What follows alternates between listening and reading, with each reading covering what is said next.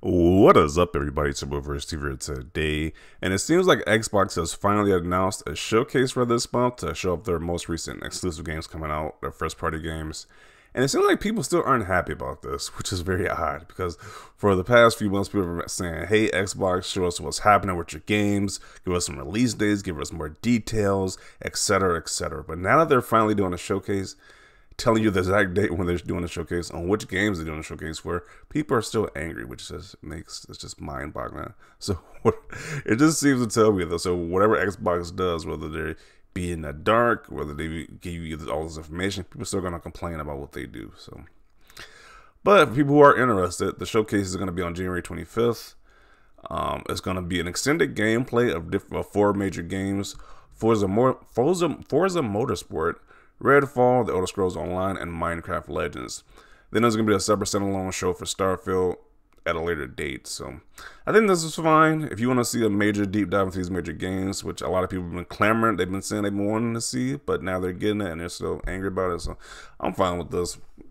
I want to see more about Redfall as well. That's one that's one of the games I'm definitely anticipating this year. And people don't really know if it's what type of style of game it is. It's going to be like the style of Borderlands. Is it more of the style of Far Cry? What of game is Redfall going to be? So there's going to be more deep dive into that, which, like I said, I'm looking forward to that. The Elder Scrolls Online, that has been a massive MMO series for Bethesda for a while, so it might get some new people on board because I'm interested in that too.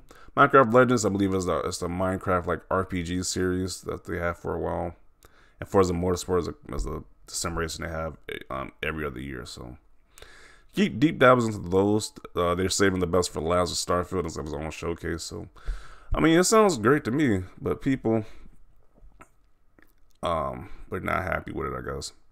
Like this guy says, is Avowed still the game? Once again, another complaint as we mentioned. Is Fable being made still? Man, Xbox felt like it was on the up, but it just seems to be going downhill rapidly. As they just announced a showcase where they're showing you the games that's coming up for Xbox. It's like the Xbox must constantly be doing more always. It's like really.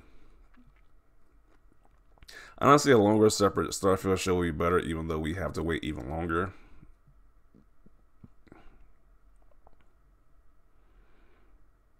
Uh, Starfield standalone show with Todd Howard, Literal Heaven. Redfall could come out earlier when we thought.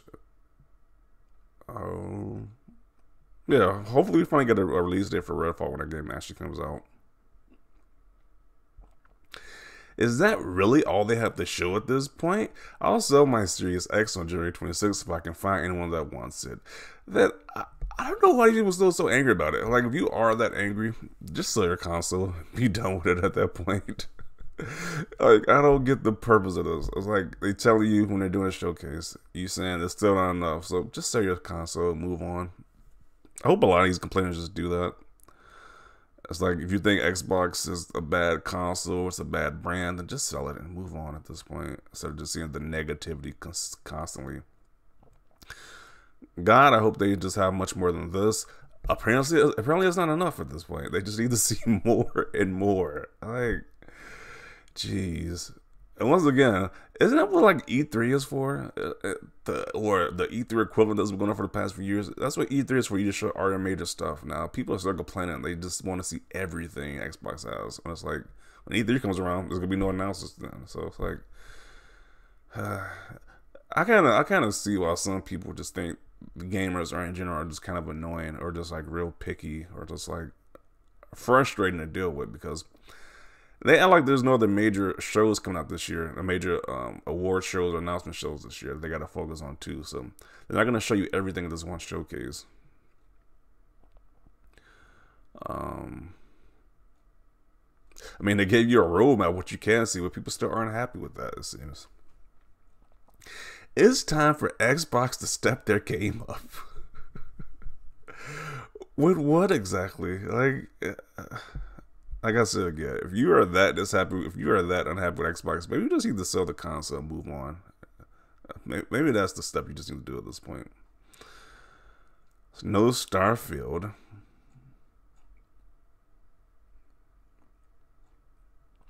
Boring. This dude is in a sarcastic gif. Okay. Look how just negative people are about this. Like, jeez.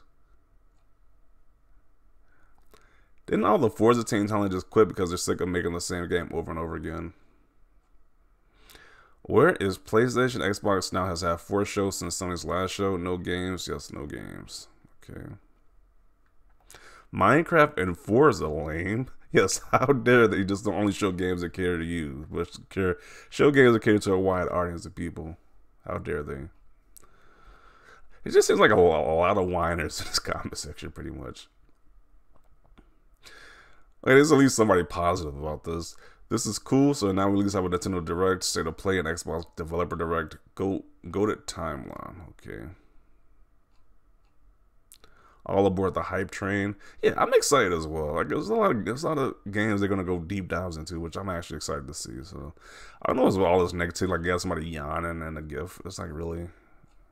Are these guys even Xbox fans or these just trolls pretending to be Xbox fans? Because I don't see if you could be this negative about Xbox. It literally announced they're going to do a showcase to show their games, their first party games coming up. And people saying it's not enough.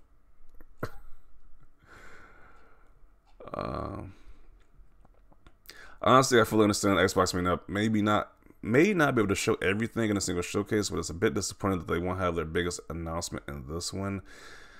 But they tell you a later date when they're gonna, they tell you are gonna do a later date. Why do they want everything to be in one showcase? It doesn't make any sense to me.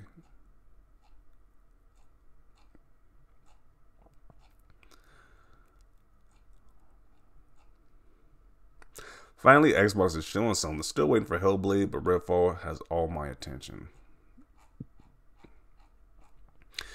Yeah, so that is the reception so far from people um, from the showcase being announced. Which once again, I'm excited about this showcase. I'm definitely gonna be in tune, definitely gonna be tuning in on the 25th to check out these deep dives. But I think Xbox is doing just fine right now. I understand that they can't show everything in one showcase. Kind of like they want to spread out the they want to spread all spread out the announcements throughout the entire year, which makes sense to me. But I guess to other people, it's not enough for some reason. So definitely want to see your thoughts down below about this. Are you excited? Are you excited for this showcase? Are you excited for the Starfield standalone showcase? And what are your thoughts down below? Leave a like, if like this video. And as always, thanks for watching and peace.